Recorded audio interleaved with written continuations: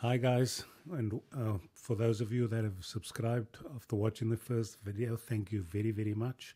Um, to those who are new um, following along in this video, welcome. Um, it's truly um, awesome to be doing these videos and finally committing to learning the old Panasonic Lumix G9. Now before I start, I'd just like to um, suggest that you please watch part one of the video of the series of videos which just covers the overview and introduction to the Panasonic G9. Um, that's kind of important before you get stuck into this video because here we're going to be unpacking the camera setup and uh, what are the best settings moving forward. Another quick thing to mention, if you can please make sure your firmware is up to date. And um, finally, I've got a little bit of a bonus tip for at the end, just around customization, which uh, you could find useful. Thank you. Okay, so I'd just like to cover what it is you can expect in this video. I'm going to break breaking it down into two segments really. First segment is going to be around the camera setup. What are the best setup for us to make sure we cover exposure properly and also focus and then some other small minor tweaks around the display and things like that just to make us nice and efficient. Second one is around settings. What settings can we put on the camera and pretty much forget about it? And what are the other settings that are more dynamic and they change depending on the photography we're doing? So that's sort of going to be the format of the video. And I'll try and move through it quite quickly because I know what it's like. Time is a premium. And then, like I said, there's a little bit of a bonus tip at the end just around individual customization, which you're going to find quite handy. Um, so, yep, let's get into it. Alright guys, I just want to start off with your shutter um, speed and aperture dial.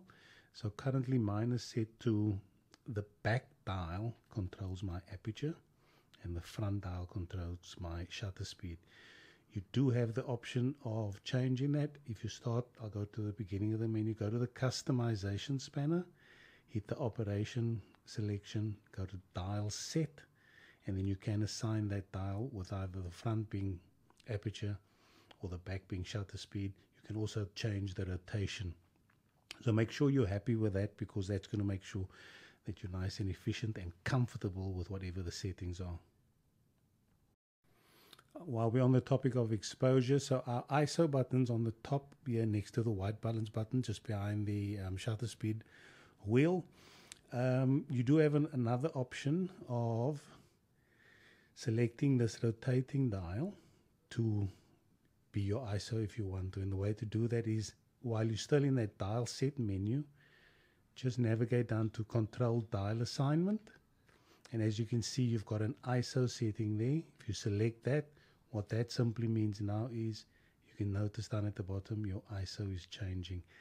Now, um, I personally don't like that because I feel you can sort of, you know, mistakenly rotate this dial while handling the camera and unknowingly changing your ISO. So, but you may prefer it, you may like it, and that is an option to get your ISO nearby. Just another quick thing around ISO. Um, let me just go down to, I think it's always tend to go the wrong way first. Murphy's Law. Back to our ISO increments, which is part of our exposure folder. As you can see, I've got it set to one third increments. So what that means is you can have it in one full sort of increments where it jumps up from 100 to 200 to 400 and so forth and so on. I prefer setting it up on one third increments, just makes a lot more sense, gives you a bit more flexibility around your ISO, and um, that can only be a good thing. So look guys, that sort of wraps up the camera setup around um, the exposure triangle, which is our aperture, shutter speed and ISO. The Lumix G9, as with all the Lumix cameras, has cameras have a huge amount of customization around it. This is just one of probably a few ways that things can be done. Um, and it's the way I've got some habits because of my G7 that I've been using when I was making video. Um, now the G9, there's some similarities. So just remember, these are just suggestions. You, there are other options and other ways of doing things. But anyway, that takes care of the exposure setup for the camera. All right, guys, I'm going to move on to focus now. And the best, or one of the setups around um, focus. What are our options? Now, the most significant change for me is typically if we were the shoot um, normally, we would half press the button and then fully press to take the photo, i.e., this is the front button. You've got your automatic focus single, where if you hold the button, um, it'll just focus once, release it, and it will lock the focus, or you have autofocus continuous, where if you keep the button depressed, it'll continuously focus. But this is using the front button and then fully depressing, we take the shot. We all sort of know that. And we've also got our manual focus option down there.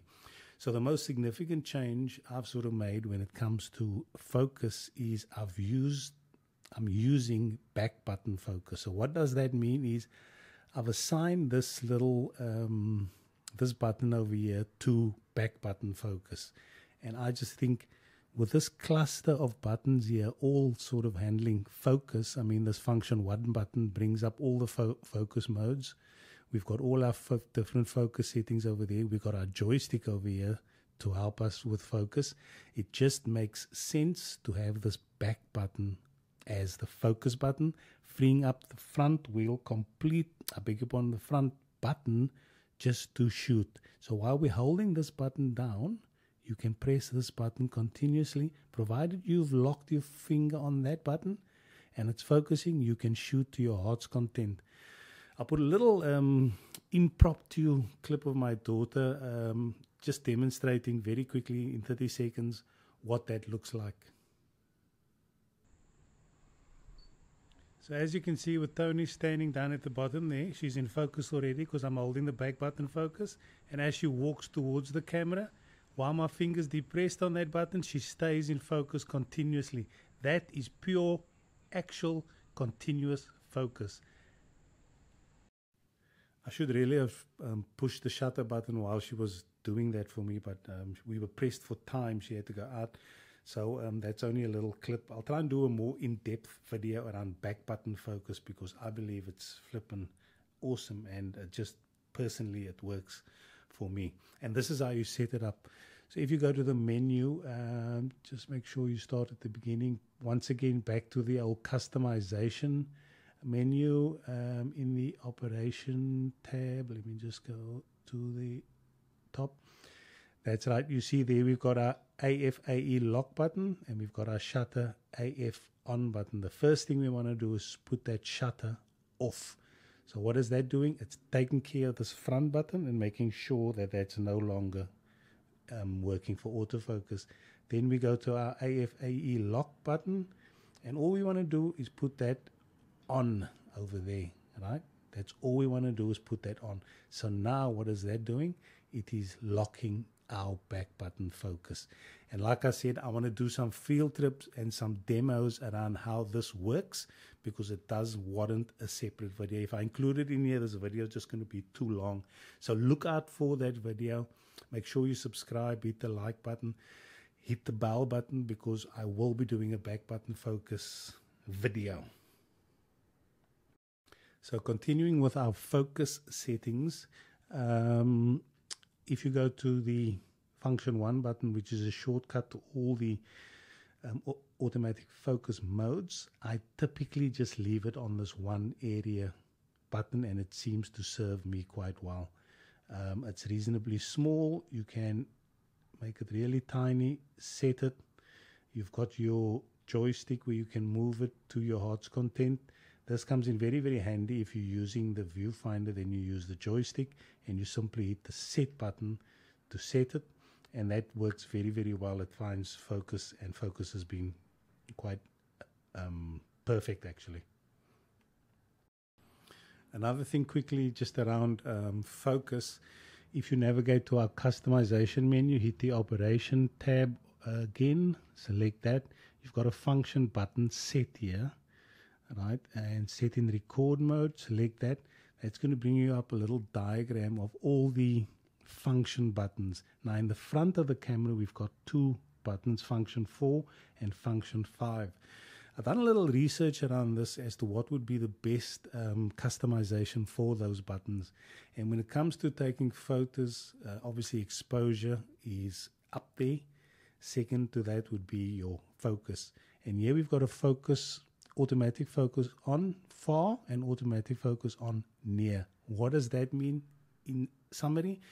Basically, sometimes the camera struggles to decide what to focus on. It'll focus on a closer object versus a further away object. You have now the autonomy when you set those buttons to tell the camera what to focus on. And that to me is a game changer. So I've thought that would be the best use for those two buttons automatic focus far, automatic focus near. Once again, separate little video will be done just to show how that works. So make sure you follow along, subscribe because that video will be coming quite soon. So right guys, that sort of concludes all the setup around focus. And as you can see, it's not it's not huge, but it, it does warrant some um, attention. I'd like to move on to um, the final part of the setup um, for the camera. And just around this display area over here, as you can see, you've got a mic over there, which is fine if you're using a lot of video. And then you've got this touch tab on the side here. I did try and get used to using this on the G7. There were some Wi Fi things on there, but to be fair, I, I don't find it particularly useful. And if you want to clean up your screen a little bit, clean up your display, uh, you can actually switch those things off. And this is how you do it. So venture to the old menu button for the mic. Make sure you go to the video settings and then just simply put your mic off over there and make sure your mic level limiter is still on, which I think is a good idea. If we go back to our customization menu, we're going to go to our monitor display there's a selection called touch settings on the fourth page. Once you select that, go to the touch tab and simply put that off. So now if you go back to our screen, our touch tab is gone and our mic um, level is also gone, which is handy. Another quick thing while I do have your undivided attention is, um, is it in the operation tab? I think so. Bear with me, please. One moment, caller. No, it's not in there. Where was it? Um, Driller might be under here. No, wasn't there. Uh, might be under operation. Yes, yeah. Um, let me just go. There we go. Constant preview. Make sure constant preview is on. What is constant preview, you may ask? Very good question constant preview is when you're making any sort of adjustments to your aperture, your shutter speed, your ISO, whatever the case may be, the display will preview exactly what that photo will look like, which is priceless. It'll give you exactly an idea as to what that photo is going to look like. So you want to make sure that that is on. All right, guys, so that sort of concludes the camera setup. Uh, there is one other thing um, I might just quick, quickly mention.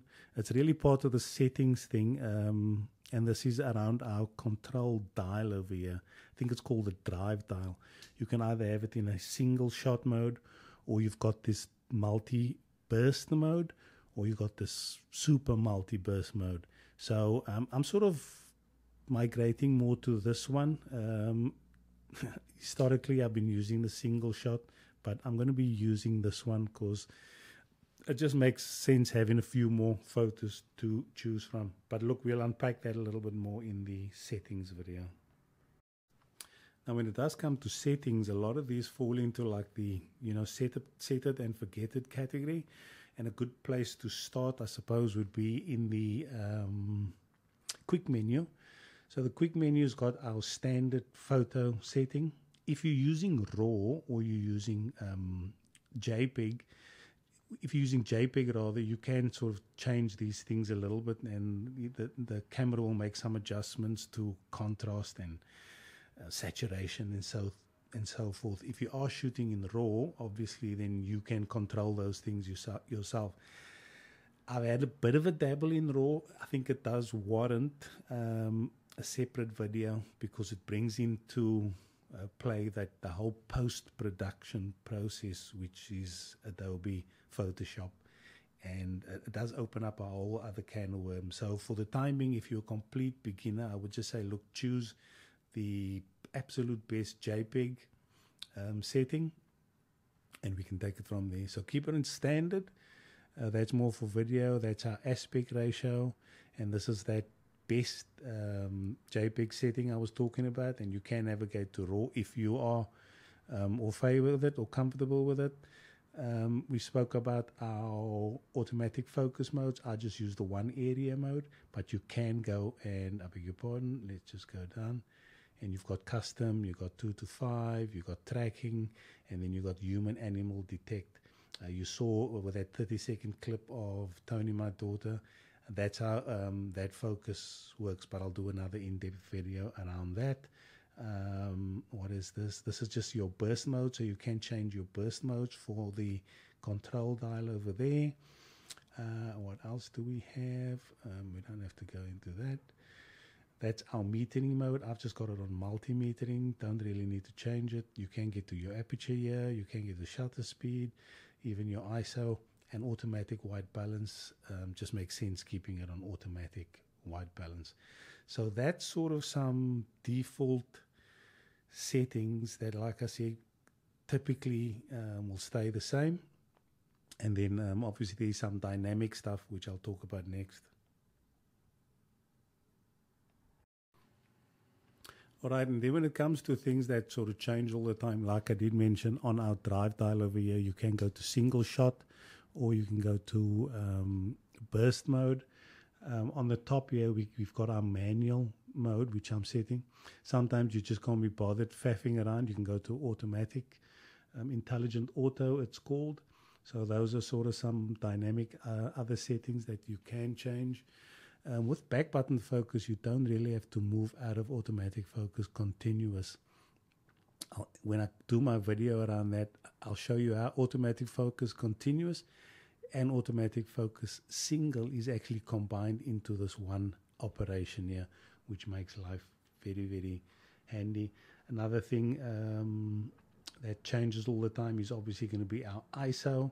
So um, you can move that around. Um, that's one of those things that typically changes. Obviously, our shutter speed is going to be changing all the time. Aperture is going to be changing all the time.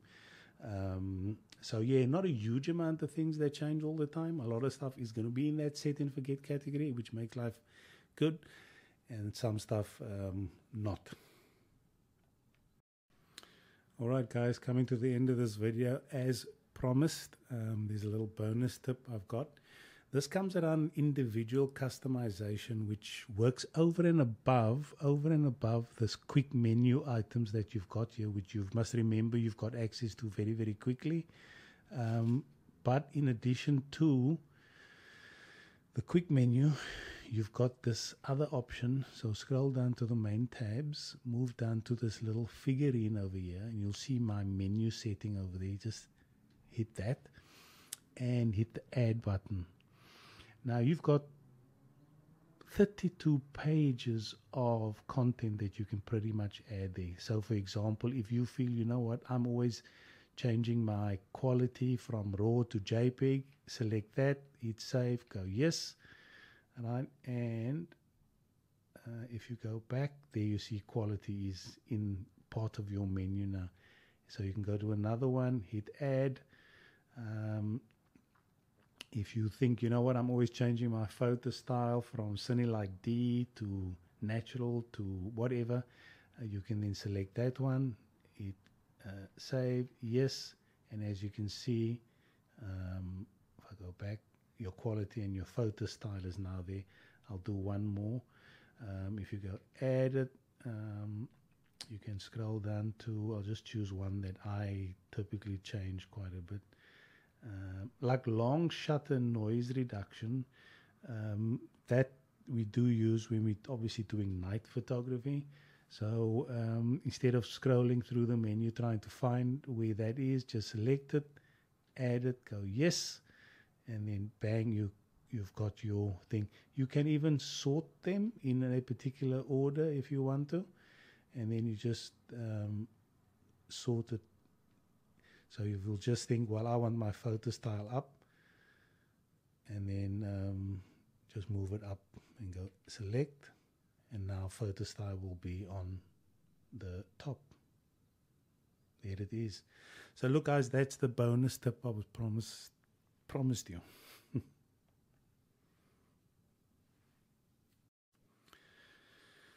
So, look, guys, I hope that was sort of a summarized view of how you can set the camera up reasonably quickly um, to make sure your exposure um, access is primo, your focus is on point, and you're not faffing around um, trying to get focus sorted. So, those are the two main areas I focus because that's probably the most important part of photography or videography, making sure our exposure is right making sure our focus is right. And then there's a couple of display things, couple of setting items um, that's going to help us um, not worry about making decisions. Because I think when we're doing wildlife photography, we need split second action. You know, we can't be worrying about um, what settings we got to um, change and things like that. So, look, I didn't want to keep the video too long. I hope it's covered it in its entirety. Please like, comment, and subscribe. Um, I'm open to suggestions. I'm sort of um, unpacking this as I go along. Um, yep, follow along. There's loads more videos to come. Thank you once again for subscribing. Thank you for your kind comments. I do appreciate it. And we will no doubt catch up in the next one. Over and out. Cheerio. Bye bye.